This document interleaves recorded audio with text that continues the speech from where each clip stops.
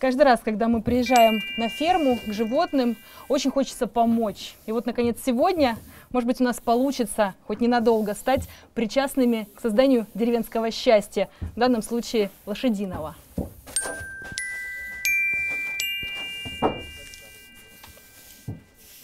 Оказаться среди великолепия крымских гор приятно всегда. Впереди синева моря, справа Четырдак и Бабуган-Ейла, слева загадочная и каменистая Демирджи. Красота, которая покоряет и дарит ощущение полета. А если к живописным видам добавить еще и общение с такими умными и прекрасными животными, как лошади, то определенно появляется желание остаться здесь жить.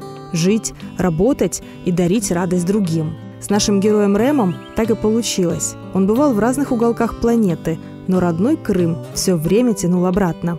И теперь здесь Рэм строит свое будущее. Он рад гостям и сразу переходит на «ты». И это покоряет настолько, что, оказавшись здесь впервые, чувствуешь себя старым другом, каждой улыбчивой лошади и их гостеприимному хозяину. Ну а уж от друзей точно не скрывают рецепт счастливой жизни. Вот, возможно, мы и узнаем, из чего оно складывается – деревенское счастье.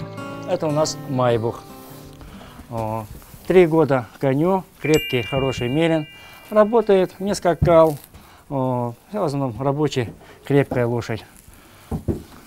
Это у нас мамайчик, бураком его кличут. Вот. А млечный путь Маиса, а, чистокровный арабчонок с Краснодарского ипподрома. Его, да, с Краснодарского ипподрома были завезены его родители, а родился он уже у меня.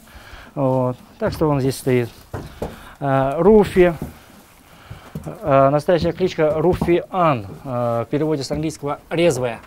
Она действительно резвая лошадь. М -м, хорошая. Ну, спокойная, хорошая, но побегать она всегда любит. Э, цыган. Обычный, хороший, крепкий, малый. Вот. Тоже скакал в свое время, сейчас ему тоже 13 лет.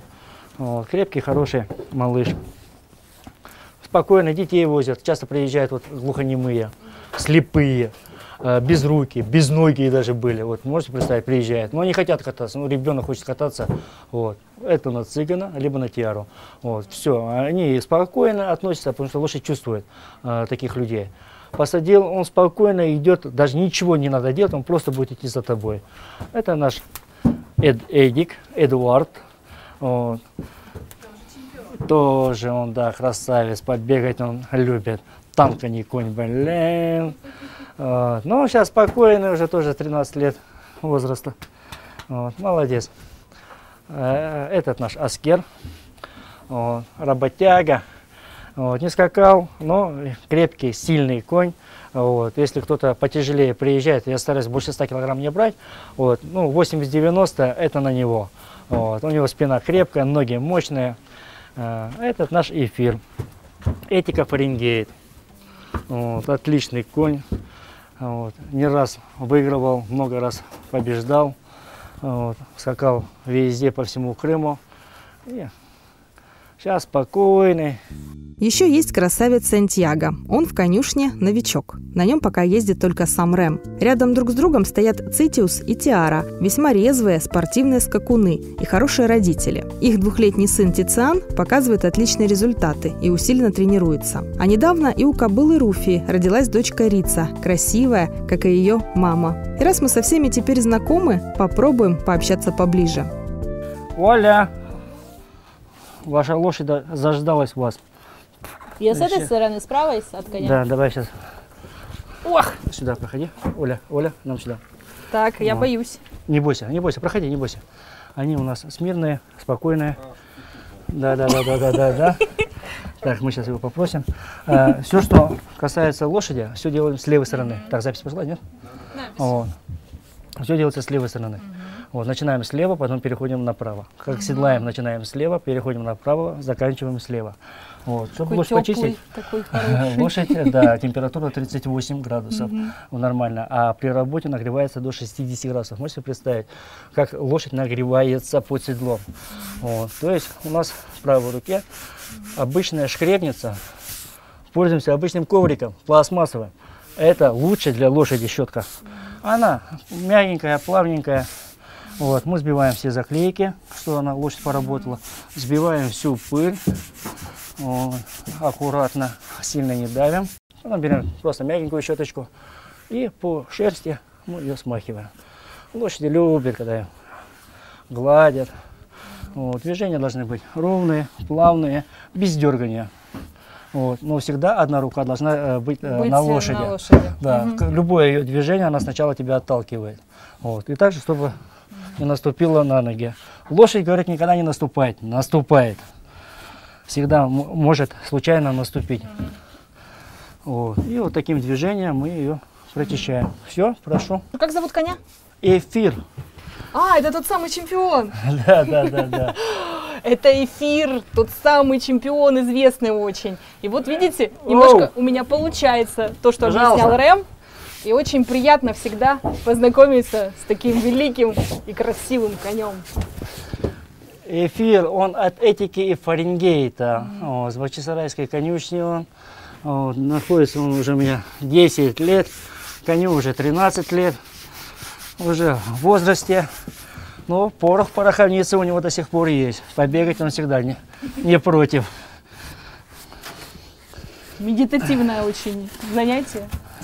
Конечно, эфиру, несмотря на то, что его имя непосредственно связано с нашей профессией, и он, само собой, попадет в эфир нашего телеканала, лучше будет, если мягкая щетка перейдет в руки Рэма, рядом с хозяином спокойней. Мы можем в этом убедиться прямо сейчас. Рэм покажет нам, как нужно учить молодого коня разным необходимым приемам. Эфир уже всему обучен, поэтому на сцену выйдет Тициан, который пока немного побаивается новой публики.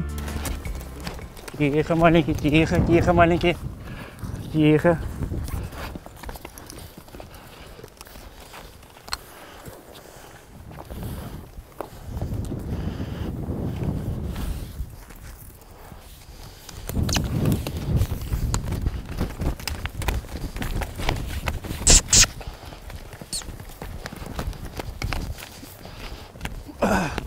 Самое главное вывести его на круг. Хорошо работает, активно, резвый, но очень хорошо слушается повода. Уп, уп. Изначально обучает лошадь, приучает ее к седлу, приучает к этим веревкам, приучает ее к поворотам, вот, отрабатывает ей рот, чтобы она очень легко поворачивала, легко слушалась. И потом уже сам садишься верхом. Когда уже сам потихонечку катаешься, потом начинаешь, естественно, идет процесс тренировки. Это в два, в два с половиной года поворот. Опа! Давай, пошел. Потом идет процесс тренировки. Первые месяца рысью идешь. Это аж до апреля месяца надо его рысить. Только потом уже начинаешь кентировать. Этот горный конек в горах вырос от хороших кровей. То есть ему уже два с половиной года, а у него уже мускулатура сложена, как у взрослой лошади. Это, естественно, будет боец. Чтобы набраться опыта для такой работы с лошадьми, конечно, нужно начинать с ранних лет. Но даже это не поможет без любви. Сказать, что Рэм просто любит лошадей, мало. Для него каждый конь – это близкий друг и товарищ на всю жизнь. С самого детства я начал любить лошадей. Как отец говорит, одному говорит, купил мотоцикл, второму уже ребенка. И с этого, говорит, пошло. Первое знакомство с лошадью, это уже было в Крыму. Дядь Степан был, такой покойный вот, Чабан. Он, когда мы приехали, он проезжал по деревне на телеге. Еще маленькими были. Тут догоним, телегу сзади сели. Вот, там что-то подкрикнул. Ну, потихоньку, потихонечку уже в телегу за- заводил, уже верхом нас катал. И вот, что там, 9 лет мне было тогда. С 9 лет я уже начал ходить. Потом уже сам ходил к ним, помогал им, работал. Потом устроился на работу чабаном. И как бы пошло, отучился на ветеринара. Пошло более профессионально. Когда уже уехал в Ирландию, вот, в Ирландии работал два года у Эйдена О'Брайена в фильме «Балли Вот, очень хороший тренер по скаковым лошадям. Ирландия, ну там подход совсем уже совершенно другой к лошадям. Там э, лошадей понимают, к лошадям э, относятся. И, естественно, там и спонсирование идет э, больше. К, представляете, королевские скачки, да, там скачка за скачки. Каждая скачка там, блин, вот, если в конюшне, в деннике стоят одни миллионники. Пошло 3 миллиона евро, 2 миллиона евро, миллион евро, и пошло бесконечность. Ну, там одни миллионники стоят. Естественно, уже подход совершенно другой. Вот там уже взял. Потом уже, когда инфляция началась, переехал уже сюда, э, в Крым. Предложили участок взять здесь, 7 соток. Вот, вот на этой поляночке я палатка стояла, мебель стояла, доски какие-то, материалы. Вот это вот потихонечку строили, все это делали, конюшню строил и дом строил. У меня было всего 4 лошади. Цезарь, Эдик, Юта и Аскер, все. Четыре лошади. Потом один, второй, третий появилась, закрутилась. Давай людьми работать, давай с людьми работать, экскурсии водить. И вот потихонечку уже 9 лет я здесь. И пока мы беседовали, пара лошадок вернулась с прогулки. Значит, пора их напоить и накормить. А в горах и вода, и еда вкуснее. Чистый воздух нагоняет аппетит. И лошадки, хорошо потрудившись, понимают, что их ждет щедрое угощение. После прогулки лошадь надо обязательно напоить. Вот. Она отшагалась, отдохнула. И пить она все время хочет. Особенно в летнюю погоду они просят пить. Кто-то меньше пьет, кто-то больше пьет. Кому-то надо два ведра, кому-то ведро. Вода здесь родниковая, с гор бежит, с высоты 1050 метров бежит вода. Труба проходит рядом э, в деревню. Вот, нам дали тех условий, мы посоединились. Вот, и успешно родниковой водой поем своих лошадей. Так что так вот. Вода идет самотеком поэтому немножечко Ну да, воздух попадает, прыгает. Пока она сойдет, это по 5 ведер в день, каждая лошадь минимум в жару.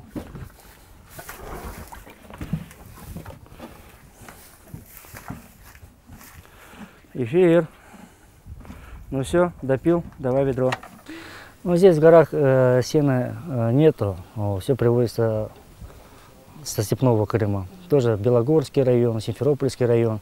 Привозится оттуда. В основном стараюсь на сезон взять люцерку, потому что лошадей нужно кормить хорошо. А в межсезонье уже берешь э, более-менее такую э, луговую траву. Луговая трава, там тоже есть разные сорта цветов, там есть все.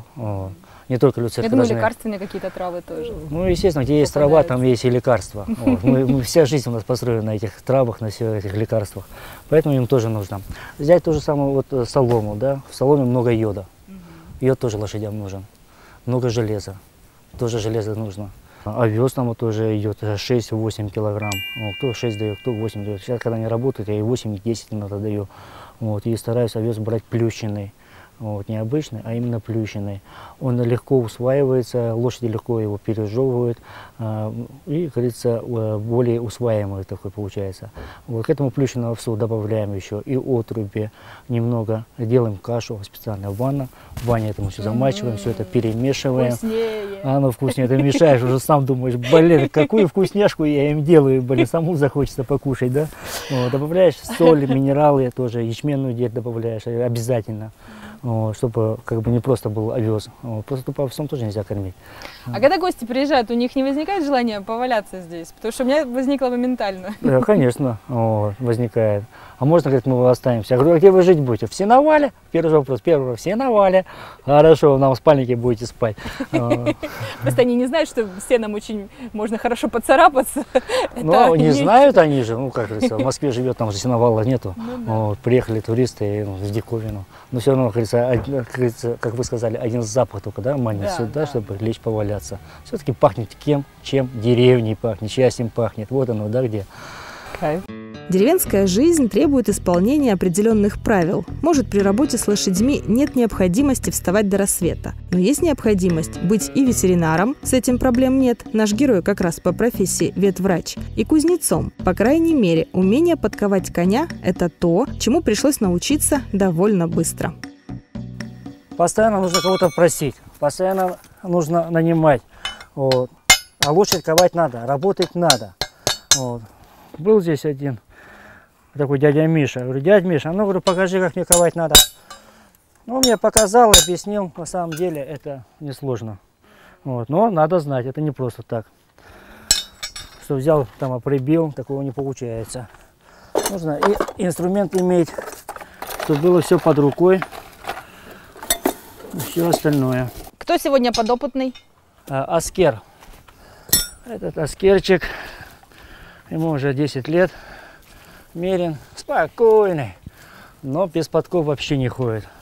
Если подкову потерял, пока ты не подкуешь, он ходить не будет. Отказывается. На подкову привариваем, привариваем арматуру. Вот, шипы такие большие делаем, именно три шипа. Вот, чтобы уже как-то более-менее держалось. Этой подковы хватает буквально на полтора-два месяца. Вот, ну, лошадь-то надо 40, через каждые 40 дней ковать. Вот возьмем подкову, которая уже вот, да, была. Вот она полтора месяца отходила. Что осталось от шипов? Есть Да уж, разница, да? Да уж, конечно. Вот, поэтому вот, грунт здесь очень тяжелый, каменистый, чтобы не, не стерлись у них э, ноги, копыта. Вот, надо прибивать и постоянно. Вот. Ну, зимой уже, конечно, не подковываем. Вот, часто спрашивают, зачем лошадь ковать?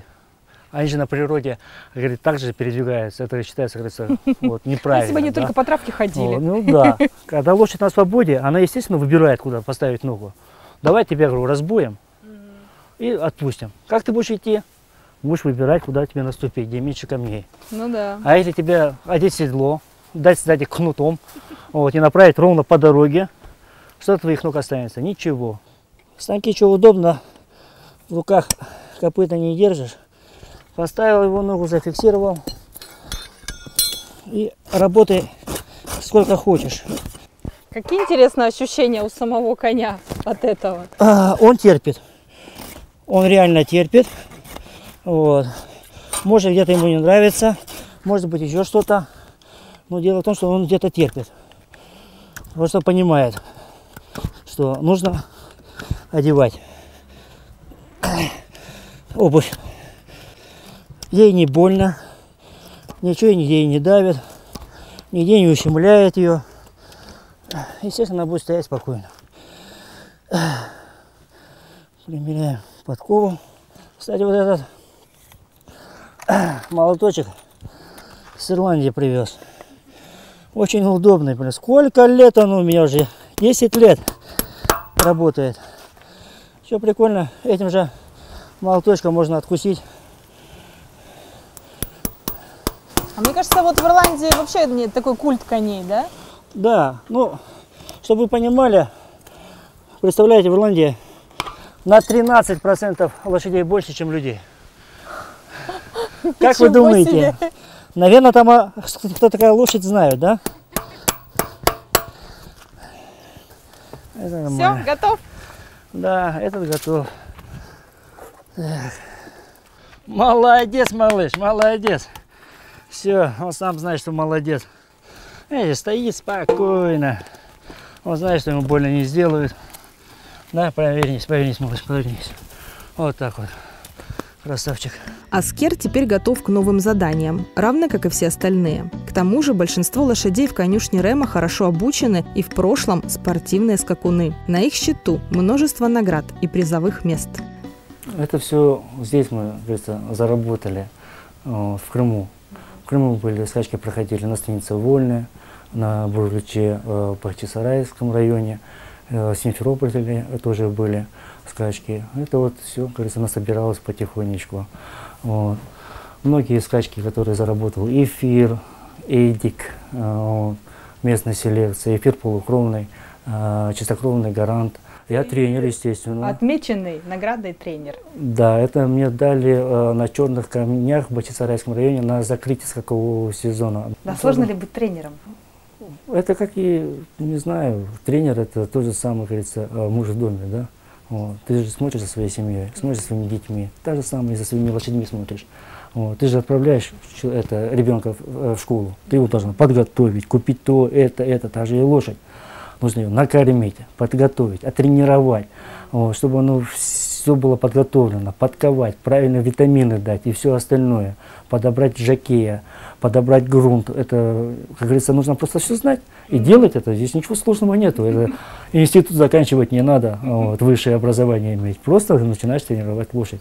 Вот, говорится, дедовский чемоданчик. Вот, здесь у меня хранятся призовые седла, они называются. Вот. То есть это призовое седло. Оно само весит вместе со стременами 200 грамм. Можете представить, да? Вот. Оно лежит на холке у лошади. При этом, когда жаки на коротких стременах, вот, можете представить, да? Вот, на коротких стременах э, стоит на лошади, вот, при, преклонившись коленями.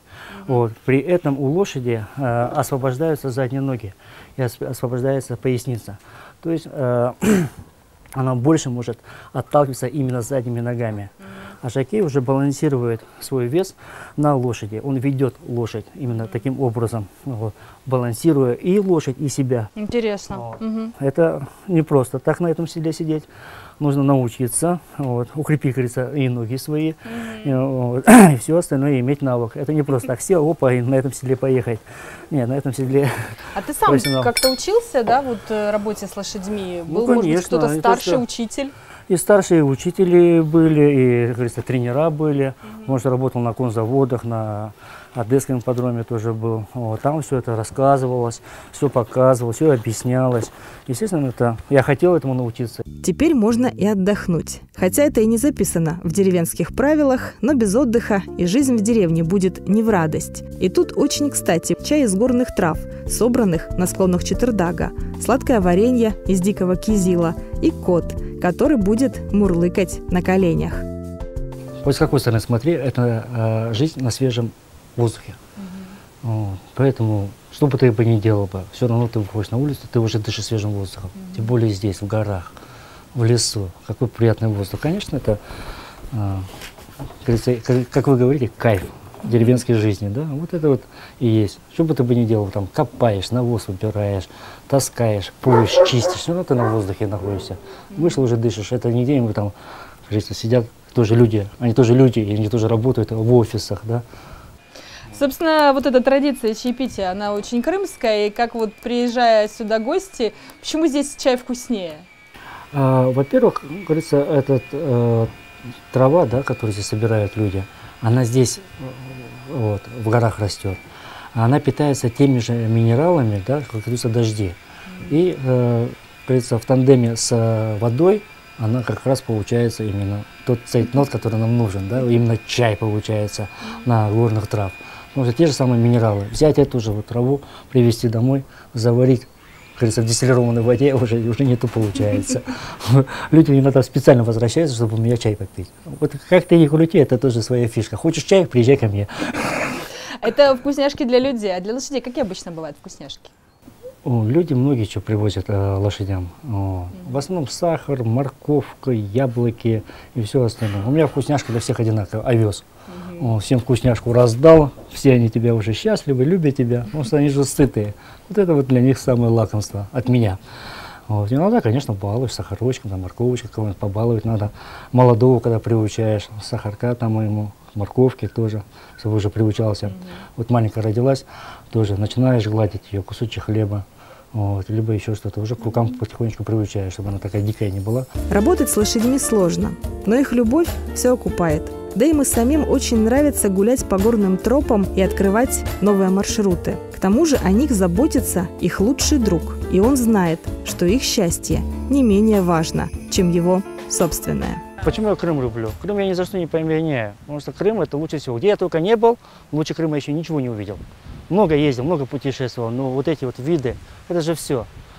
Здесь, говорится, родная земля, все родное, блин, все свое, вода и то та хорошая, да, своя вода. Вот, как за водой скучаешь, за воздухом скучаешь, за этими видами скучаешь. Земля круглая, куда хочу, туда и веду. Здесь везде можно гулять. Это не Ирландия, туда нельзя, сюда нельзя. Здесь Крым, куда хочешь, туда и едь. Можно, говорит, на северный уже, поехали на северный, можно на южный, поехали на южный, на Четвердак, поехали на Четвердак. Ну, там есть у нас заповедные места, туда нельзя, мы туда не лезем. Нам сказали туда не ходить, мы туда и не ходим, с лесниками дружим, нам лесники разрешают здесь ходить, мы и здесь гуляем. Крым, куда только не посмотри, откуда только не посмотри, он везде красивый. Хоть переедь за Четвердак, смотри на Четвердак красивый. Хоть ты едь в Феодосию, смотри на те горы. Он везде красивый. Крым. Лошадь счастлива тогда, когда она сытая. Вот она, счастье. Вот. Она когда сытая, она... Лошадь что нужно? Корм, воля и общение с человеком. Вот три фактора. Воля, корм и общение с человеком. Больше лошади ничего не надо. Вот. Если, как говорится, эти все факторы есть, то лошадь счастливая. Я А тебе считаю. что нужно для счастья? Мне для счастья, да, для счастья много человеку надо, да, Ну, совсем немного. Я так думаю, что вот, да, без лошади, наверное, я точно бы не смог. Вот. Лошадь, ну, как говорится, семья, дети, ну, что для счастья нужно.